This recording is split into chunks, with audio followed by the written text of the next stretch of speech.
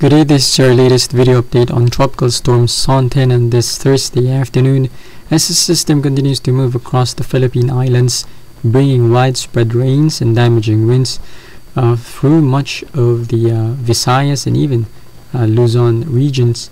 System was last located approximately 240 kilometers west-southwest of Manila, with maximum sustained winds of 75 kilometers per hour with gusts of up to 110 kilometers per hour. System has accelerated slightly, now moving west-northwestward at a speed of 30 kilometers per hour. Yesterday, the system moved across the Visayas region, passing through the islands of uh, Siargao, Leyte, uh, even into northern Cebu and moving across the Romblon Islands.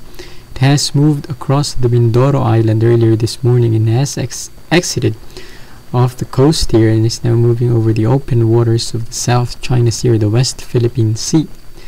The system has also slightly intensified to 75 km per hour according to JMA, despite the continuous interaction with the numerous islands here in the Philippines. So as we've said before, don't really think the uh, landfall, numerous landfall has made will really Im impact much. Uh, this, however, the the core of the system did, uh, take a beating.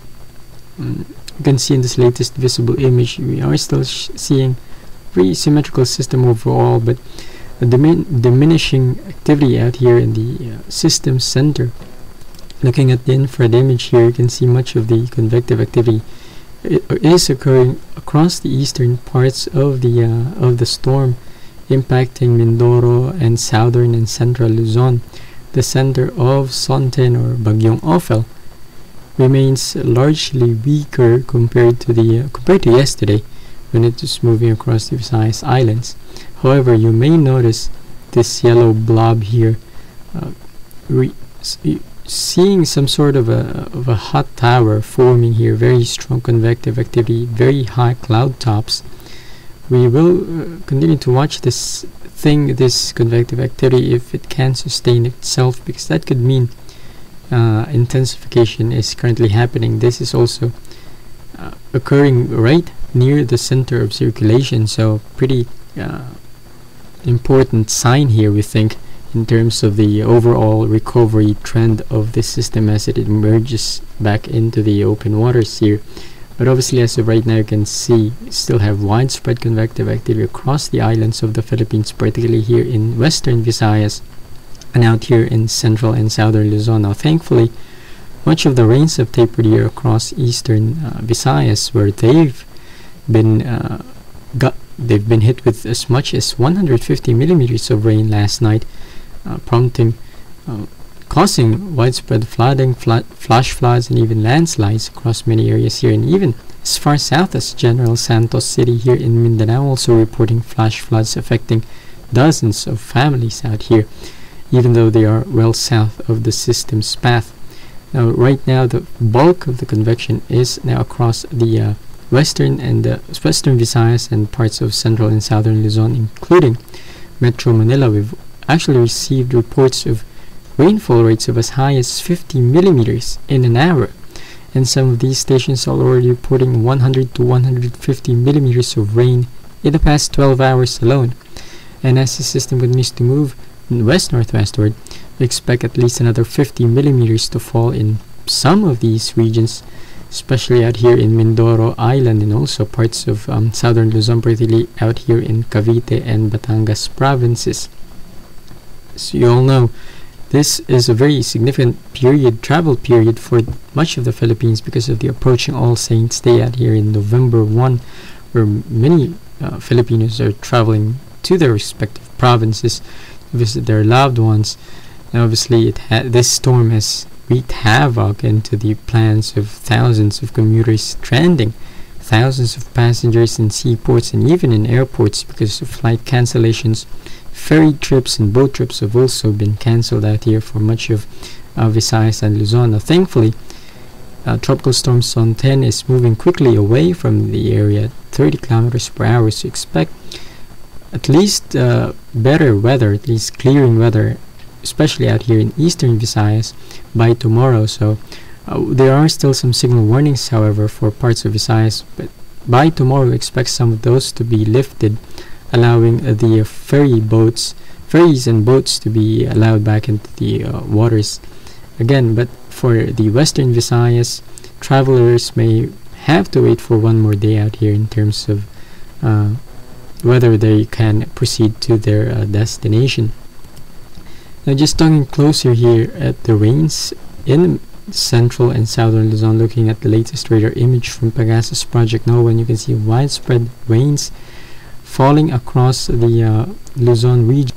If you look here at the Subic radar you can see widespread rains moving from the southwest to southeast to the northwest impacting uh, major provinces out here in uh, Laguna, Batangas, Cavite and even here in uh, the national capital region we're seeing rainfall rates of 30 millimeters per hour there as well now going southward to Cebu radar and you can see there are still some thunderstorms and rain showers but they are not as widespread and definitely not as heavy as yesterday although some areas could still pick up as high as 50 millimeters in the next 12 hours but the good news is the widespread rains and stormy conditions that we've experienced out here in eastern Visayas should die down, should taper off beginning tonight and expect much better weather by tomorrow. So the forecast here for this tropical storm, we are still seeing pretty good consensus among the computer models and again showing a track generally west northwestward across the South China Sea or the West Philippine Sea through the next two to three days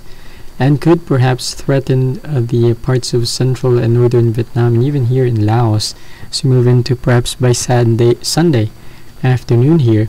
Looking at the official forecast from Pagasa this yeah this is from Pagasa and forecasting a uh, track to the northwest again, perhaps exiting the Philippine area of responsibility by as early as tomorrow morning.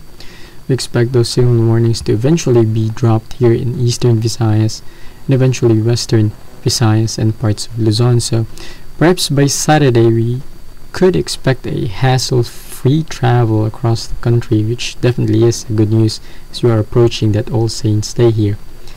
Now we have the Joint Typhoon Warning Center's uh, four-day forecast here again showing a track to the northwest across the South China Sea. And you can also notice here that JTWC is now expecting Son-Tinh to become a typhoon as you move uh, as you move into Friday or Saturday passing south of Hainan Island.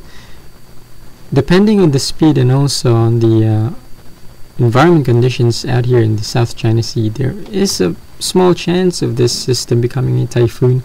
Pretty weak wind shear and also warm sea surface temperature. So, uh, Joint Typhoon Warning Center may be onto something here in terms of uh, upping their forecast, so to speak, in terms of the intensity.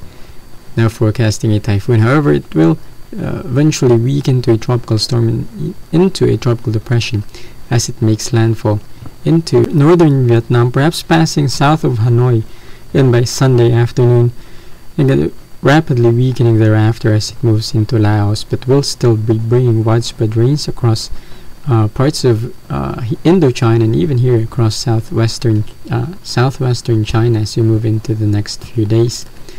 And finally, we have the Japan Meteorological Agency's forecast, again showing a nearly similar track here, taking the system across the South China Sea, a track south of Hainan Island, and perhaps making landfall out here in Vietnam as we move into Sunday afternoon.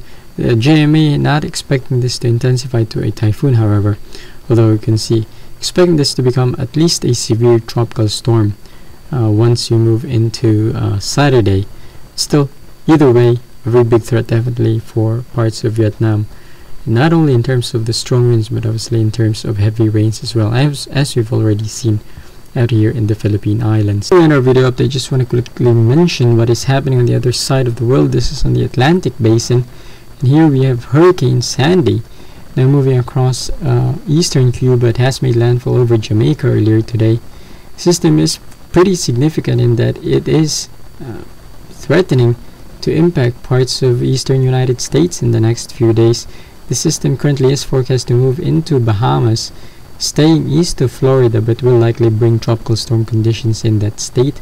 By as early as tomorrow you can see the cloud canopy very wide. We have already serious clouds with rain showers now moving across Miami and parts of southern Florida. Forecast for this system is to continue moving northward and eventually make a slight turn to the northeast across the Atlantic Ocean, perhaps transitioning an extratropical cyclone by as early as Sunday or Monday.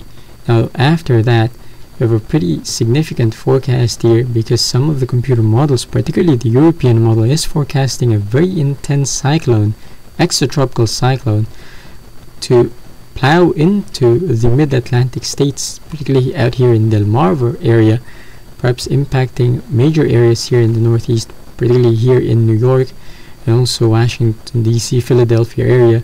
Definitely going to be need to continue to watch this system. Still nearly five days out though, so we may see some changes out in uh, the forecast track. But the concerning thing here is that computer models are starting to, to starting to agree on a consensus, starting to show a single idea in terms of the forecast here on this system. For more information on Hurricane Sandy and anything Atlantic tropical activity, you can check out 28storms.com. They also have in-depth video updates and discussions currently focusing on Hurricane Sandy. And that concludes our video update for this afternoon. Continue to check out Pagasa and Project NOAA for the latest radar images, warnings, and forecasts for your area. We also have JMA here as they are the official RSMC out here in the Western Pacific. And as I've mentioned before, if you are you want more information on Hurricane Sandy and tropical activity in the Atlantic, you can check out 28storms.com. Also, you can always check out our westernpacificweather.com and also our blog for the latest updates. We will also have our complete list of the provinces still under public storm signal warnings. Pagasa will soon be updating their list in a few minutes. They will be releasing that in their 5 p.m. forecast, so stay tuned for that as well. Thank you for watching, guys. You can always email us at philippineweather.com for the latest latest questions, comments, or if you have uh, reports in your area of uh, tropical storm damages brought by Son-Tinh, any flooding or any sort of uh, storm damages, you can always email us at here videos or images so we can share in our video updates. Stay safe, guys.